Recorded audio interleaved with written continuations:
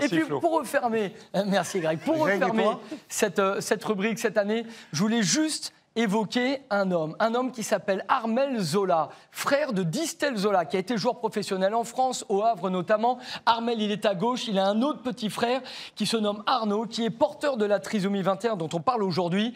Et Armel est préparateur physique en Angleterre. Il prépare euh, notamment des grands joueurs euh, comme euh, Lingard, comme Saïd Benrama. Bref, c'est un, un professionnel, préparateur physique.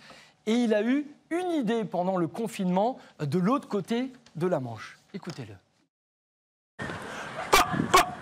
Bonjour, je m'appelle Armel Zola, je suis préparateur physique de football de joueurs de Première Ligue et fitness coach.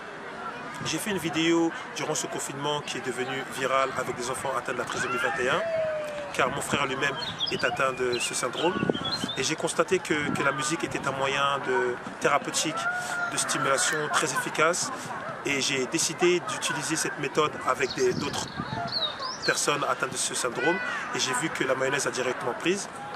Pour moi, j'ai vraiment un, feeling très important avec eux et j'aimerais en fait leur donner plus de pouvoir et de, et de visibilité dans la société et euh, pouvoir organiser des opérations euh, de, plus grande envergure dans le futur.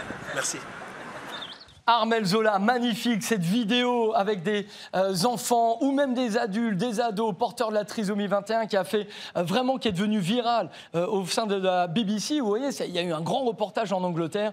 Il a fait ça, il fait ça, un vrai professionnel pour le coup, et il a fait ça pour les porteurs de la trisomie 21. Ça, c'est magnifique. Là aussi, site internet, Instagram, bref, vous pouvez le retrouver. Lui, il les prend comme ça, et moi, après Greg, on les prend sur le terrain. Voilà, Greg, bah moi, je me mets au bord du terrain, je peux plus courir comme avant. Et Greg, il va aller. Moi non plus, je peux plus courir. Faire les circuits, tu vois, techniques et tout ça. Et pour dire aussi, j'ai euh, l'occasion de participer hier matin au Parc des Princes pour la fondation du Paris Saint-Germain. Ce qu'ils font, c'est remarquable. Quand tu vois ces enfants avec ce sourire, quand tu les vois là sur le Parc des Princes en train de faire ces exercices, tout ça, euh, ces circuits techniques, j'ai pris vraiment du plaisir à les voir. Et que ce soit à Marseille, à Paris ou dans d'autres clubs, la fondation notamment du ah PSG a particulièrement soutenu cette rubrique Be United qui va continuer bien sûr pendant l'Euro, mais aussi bien sûr la saison prochaine. On parle de foot avec tous ces passionnés, passion